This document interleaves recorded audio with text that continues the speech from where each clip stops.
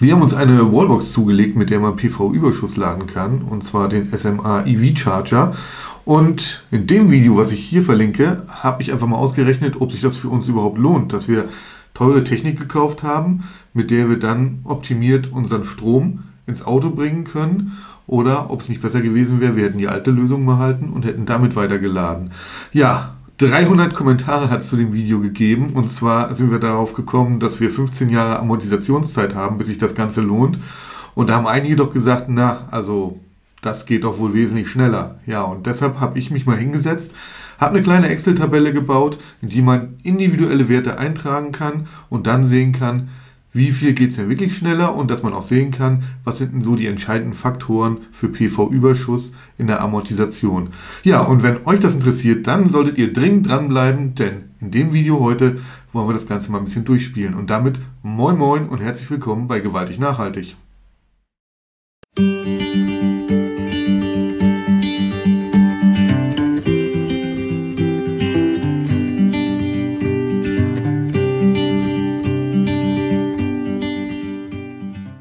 Den Strom auf dem eigenen Dach produzieren und dann auch noch ins Auto packen und damit rumfahren. Ja, das ist ein geiles Gefühl und wir finden es auch richtig großartig, dass es die Technik dafür gibt, dass wir möglichst viel Strom auch wirklich vom selbstproduzierten rein ins Auto kriegen. Tolle Sache, wirklich großartig, will ich überhaupt nicht bestreiten, würden wir auch jederzeit wieder so machen. Ähm, aber es bringt nicht viel, wenn ich mich hier jede Woche hinsetze und erzähle, wie geil alles ist, wie toll alles ist. Photovoltaik ist großartig, E-Mobilität ist auch großartig, beides zusammen ist noch viel großartiger. Will ich an der Stelle einfach nochmal gesagt haben. Ich finde es aber auch immer wichtig, dass man mal dahinter blickt. Lohnt sich das Ganze denn auch? Denn für viele ist einfach der monetäre Ansatz sehr wichtig. Ähm, will ich das Geld ausgeben dafür oder gibt es einfachere Lösungen, mit denen ich auch glücklich werde? Und deshalb sind wir so ein bisschen dahinterher, dass wir immer schauen, was kostet denn das Ganze. So, so viel also zum Gefühl. Und äh, wie gesagt, im Video vor einer Woche, da gab es sehr viele Reaktionen und es war wieder echt spannend, mit euch zu diskutieren. Hat mir richtig, richtig Spaß gemacht. Gerne immer weiter so. Und äh, heute wollen wir uns einfach mal ansehen, anhand einer Excel-Tabelle, die ich zusammengebastelt habe, wie sieht es denn aus, wenn wir gewisse Faktoren einfach mal drehen, wenn wir da andere Werte eingeben, weil Genau wie beim Speicher sage ich ja auch immer, wer Speicher haben will, wirtschaftlich ist es in den seltensten Fällen, ganz klar, aber wer einen haben will, dann bitte so, dass er auch damit glücklich wird. Und das heißt, man muss immer die individuelle Situation betrachten. Und genauso jetzt auch beim PV-Überschussladen, auch hier, wie ihr gleich sehen werdet im Excel-Sheet, die individuelle Situation ganz wichtig. Aber bevor wir anfangen, noch ein kleiner Hinweis, guckt doch mal da unten, habt ihr schon einen Daumen gegeben für das Video? Und da unten, wenn da dieses Abonnieren in Rot noch steht, nicht gut. Das muss grau werden. Einmal draufklicken, dann ist das Ding grau. Alles ist perfekt. Ja, und jetzt schauen wir uns das Ganze mal im Excel-Sheet an. Hier sind wir dann also jetzt in der Excel-Tabelle drin. Was haben wir für eine Ausgangssituation? Wir sind Photovoltaikanlagenbetreiber mit oder ohne Speicher. Das wird sich dann noch zeigen. Und wir wollen uns eine Wallbox zulegen, haben auch ein E-Auto, kann entweder einphasig oder dreiphasig laden. Auch das muss man dann sehen. Und wir geben jetzt einfach mal hier unsere Daten ein, mit denen wir dann rechnen wollen. Ja, womit fängt das an? Das fängt schon mal an mit der Fahrleistung zu Hause in Kilometern. Das heißt, das, was ich zu Hause wirklich auch lade, wenn ich auf Langstrecke gehe, dann lade ich zwar zu Hause einmal voll, aber irgendwann ist das Auto leer, dann lade ich äh, außerhalb nach. Sondern es geht wirklich nur bei unserer Berechnung darum, was verfahre ich um meinen eigenen Pudding, um meinen eigenen Kirchturm rum. Und das ist die Zahl, die wir hier eintragen. Und da sagen wir bei uns, das sind 10.000 Kilometer. Dann müssen wir einmal wissen, wie viel verbraucht denn unser Auto auf 100 Kilometer, damit wir die Gesamtjahreskilometer oder Kilowattstunden zusammenkriegen. Und bei unserem Zoe setzen wir da einen Wert von 17 Kilowattstunden an. Im Sommer sind das so 12, 13, 14, im Winter dafür 18, 19, 20 Kilowattstunden. Und so kommt dann so ein Mittelwert dabei raus. Dann müssen wir einmal wissen, wie hoch ist denn die Einspeisevergütung netto in Euro, denn die bekommen wir ja für den Strom, den wir einspeisen mit unserer Photovoltaikanlage. Und wenn wir ihn ins Auto laden, bekommen wir den natürlich nicht mehr. Und wenn wir aus dem Netz Strom beziehen, dann ist das wieder eine andere Rechnung. Deshalb müssen wir das hier mit reinbringen. Und bei uns, wir haben 2018 gebaut, 2019 erweitert und wir bekommen eine Mischvergütung von 11,75 Cent pro Kilowattstunde. Dann brauchen wir natürlich den Strompreis unseres Stromanbieters in Brutto bitte. Und zwar ziehen wir ja, wenn wir permanent 11 kW laden zum Beispiel, dreiphasig, dann beziehen wir ja auch Strom aus dem Netz. Und auch Wer Überschuss lädt, der wird irgendwann aufs Netz zurückgreifen müssen, weil im Winter einfach nichts vom Dach kommt.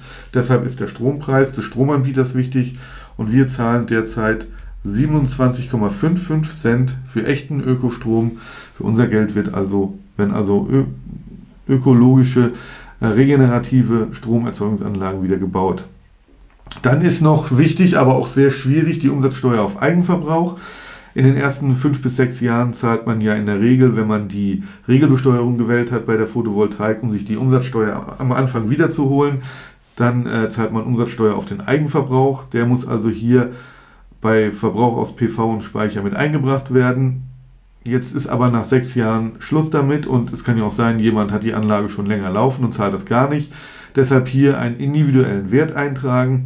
Bei uns weiß ich ja schon, dass wir sehr lange brauchen, bis es amortisiert ist. Also werde ich auch über einen längeren Zeitraum diese Umsatzsteuer mit reinberechnen müssen. Deshalb, äh, wir zahlen sie jetzt noch zweieinhalb Jahre und äh, wahrscheinlich wird die Amortisation aber deutlich länger sein. Also breche ich sie auf ein Zehntel runter und mache nicht die eigentlich äh, 4, 4 Centis wären, sondern ich mache daraus 0,44 Cent, um damit ungefähr rechnen zu können. Das ist jetzt ein bisschen ungenauer Wert, gebe ich zu, aber besser haben wir es leider im Excel nicht hinbekommen.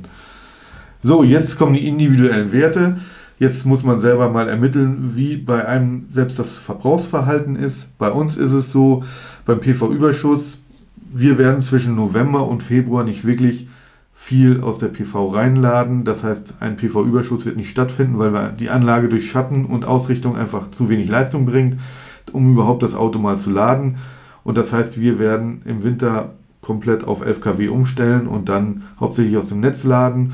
Und deshalb habe ich hier mal angegeben, dass wir einen Anteil von 79 Prozent aus der PV schaffen. Und aus dem Speicher durch Regelungen ist auch äh, ein Prozent mit drin und 20 Prozent werden wir aus dem Netz beziehen. So, und ein 30, dreiphasig laden, das hieße bei uns wegen der geringsten Verluste, wir würden mit 11 kW den Zoe dreiphasig laden. Und da habe ich dann einfach mal geschaut, wie sieht es denn aus im, im Juni, also im Hochsommer. Da leistet die Anlage bis zu 10 kW und da käme dann der Speicher noch mit dazu. Das heißt, da würden wir so gut wie gar nicht auf das Netz zurückgreifen müssen.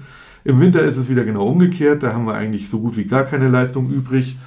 Und in der Übergangszeit ist es ziemlich genau in der Mitte, das heißt im September, was ja genau zwischen längstem und kürzestem Tag ist, da schaffen wir es noch, so ungefähr die Hälfte der 11 kW aus Speicher und Photovoltaik zusammen aufzubringen und können dann also an schönen Tagen, wir müssen ja nicht jeden Tag laden, dann können wir an schönen Tagen also so ungefähr halbe halbe laden und daraus mache ich dann insgesamt Werte von 40% fürs dreiphasige Laden,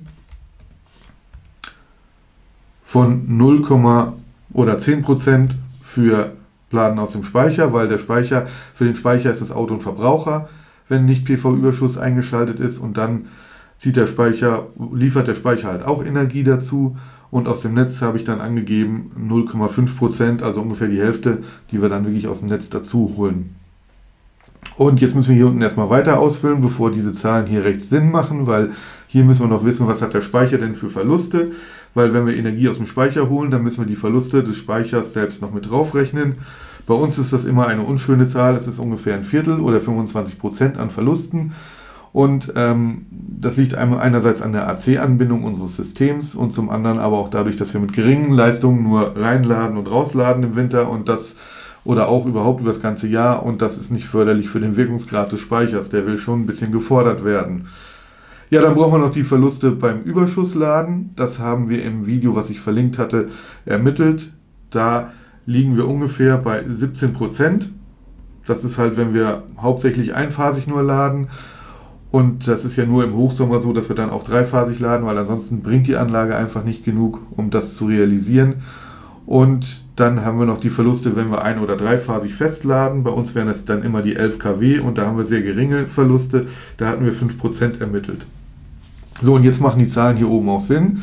Jetzt können wir hier einmal sehen, was haben wir denn genau für Verbräuche aus den drei verschiedenen äh, Stromanbietern bei PV-Überschuss und bei fester Ladeeinstellung. Und da sehen wir hier schon beim PV-Überschuss überwiegt natürlich deutlich der Anteil aus der PV und der Speicher wird kaum bedient. Und beim einen dreiphasig Laden sieht das Verhältnis schon anders aus. Und insgesamt haben wir dann hier Werte von 304,17 Euro, die wir im Jahr zahlen bei PV-Überschuss und 360,12 Euro durch ein dreiphasig Laden.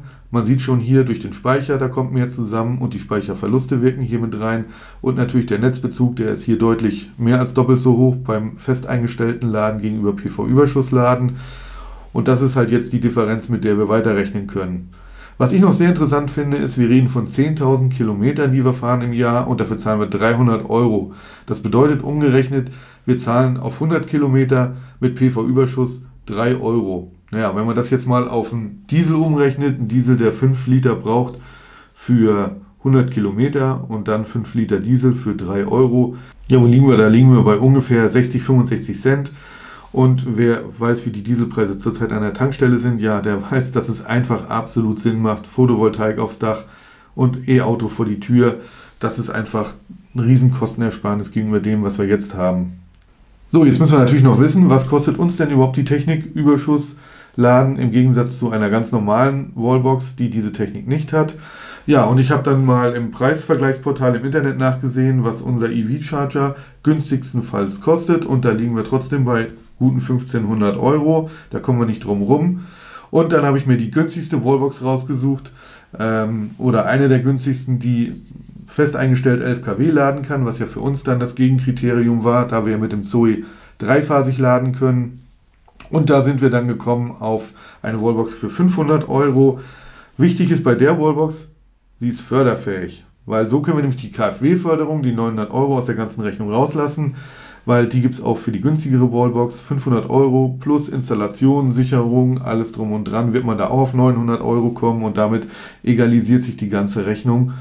Ja, und dann kommen wir auf ein Ergebnis am Ende von 17,87 Jahren in der Amortisation oder 178.000 und so und so viel Kilometer. Ähm, das ist das, wie es bei uns ist. Das ist unsere Situation. Ähnliches Ergebnis hatte ich auch schon mal in meiner groben Überschlagsrechnung ausgerechnet. Und das zeigt halt eindeutig, das lohnt sich für uns nicht wirklich, weil ob der EV-Charger 17, 18 Jahre durchhält, das ist sehr fraglich. So, und jetzt ist die Frage, geht es denn auch anders? Und das ist natürlich ganz klar die Antwort, ja, es geht auch anders. Ich habe das ja auch nie anders behauptet, das war ja nur die Rechnung für unsere Situation. Und wenn wir uns das jetzt mal ansehen, wir spielen jetzt mal ein bisschen mit den Zahlen, um mal zu sehen, was sich verändert. Da fangen wir mal an und sagen einfach mal, wir haben nicht 10.000 Kilometer, sondern 20.000 Kilometer im Jahr. Und dann sehen wir hier unten, sind wir von 17 auf 8,94 Jahre runter. Also schon deutlich anderes Ergebnis. Die Kilometer, da ändert sich natürlich nichts, weil wir fahren halt die Kilometer in doppelt so schneller Zeit, ist ja ganz logisch. Daher dieses Ergebnis auch ganz logisch nachvollziehbar. Dann setzen wir den Wert wieder auf 10.000 zurück äh, Verbrauch Kilowattstunden auf 100, gut, können wir jetzt mal ändern auf 20 Kilowattstunden beim etwas größeren Auto. Da sind wir dann um zweieinhalb Jahre schneller durch. Macht auch schon was aus, ja, aber meiner Meinung nach nicht erstrebenswert das Ziel, weil wir wollen ja auch nicht so viel Energie verbrauchen, sondern eher versuchen auch Energie einzusparen.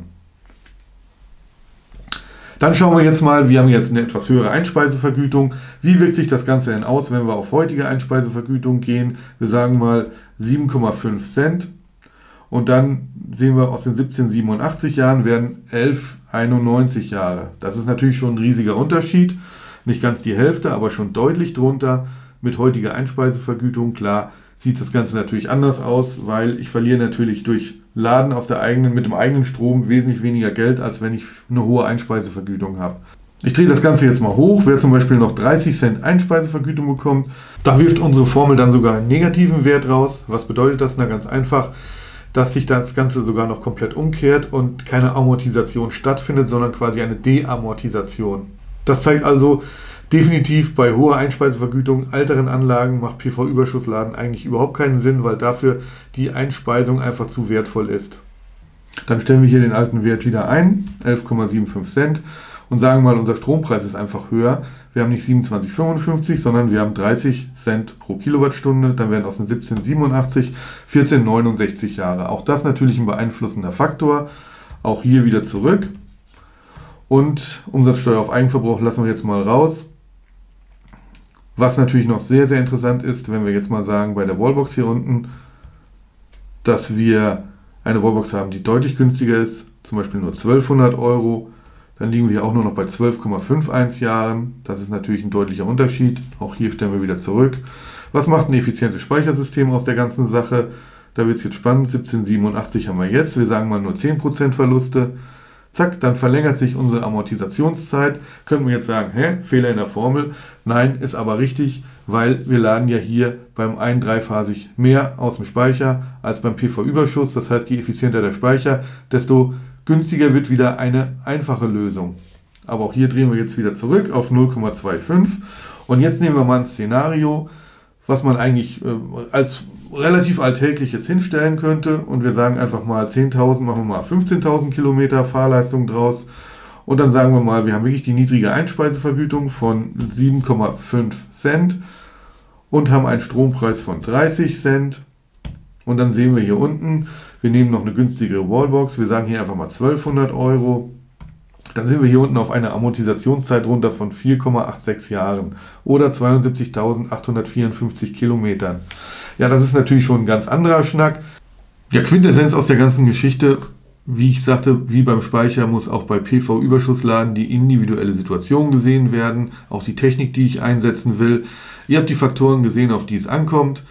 Die Excel-Tabelle könnt ihr euch gerne runterladen. Unter dem Video ist der Link dazu oder auch auf unserer Homepage gewaltignachhaltig.de. Da könnt ihr in den Download-Bereich gehen. Da liegen noch mehr Excel-Tabellen, die wir mal erstellt haben. Die könnt ihr euch da runterziehen und einfach auch mal für euch, für eure individuelle Situation durchrechnen. Was ich toll fände, wäre, wenn ihr es einfach mal in die Kommentare schreibt, was kommt denn bei euch bei der Rechnung raus? Wie viele Jahre ist bei euch die Amortisationszeit? Gibt es Fälle, wo es so ist wie bei uns? Hohe Einspeisevergütung kann eigentlich nicht wirklich richtig gut klappen, kann ich mir nicht vorstellen, nach dem, was wir hier an Zahlen gesehen haben. Kosten für die Überschusslösung sind natürlich auch wichtig, ob ich da eine OpenWB habe oder eine Zappi, die liegen aber auch über 1000 Euro. Da ist schon ein Einsparspielraum vorhanden, aber der ist äh, je nach Wallbox halt auch nicht so hoch. Wir haben halt eine recht sehr teure Lösung, weil wir einfach die Lösung integriert in unsere SMA-Anlage haben wollten. Ich sag mal, da haben wir halt auch für Luxusgeld ausgegeben. Da können wir auch mit leben, weil wir das einfach wissen. Zum Thema Umsatzsteuer noch. Also hier bildet sich gerade wieder eine Situation ab, PV-Überschussladen bedeutet, ich verbrauche wieder effizient mehr von meinem eigenen Strom.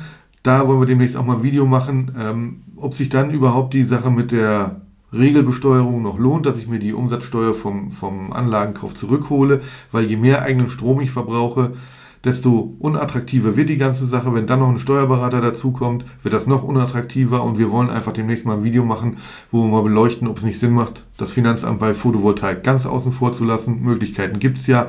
Video kommt demnächst, freut euch drauf. Und wie gesagt, wenn ihr abonniert habt, dann kriegt ihr es auch mit, dann seid ihr auch dabei. Ja, in diesem Sinne, ich hoffe, das hat ein bisschen Aufklärungsarbeit noch geleistet zu dem Video, was wir letzte Woche hatten, wo es ja wirklich nur um unsere Situation ginge. Ich denke, jede individuelle Situation ist anders und man muss es immer individuell betrachten. Ganz wichtig bei Photovoltaik, bei Speicher, bei Überschussladen. Und in diesem Sinne freue ich mich auf eure Ergebnisse, bin sehr gespannt, was ihr ermittelt und ich sage Tschüss, bis zum nächsten Mal.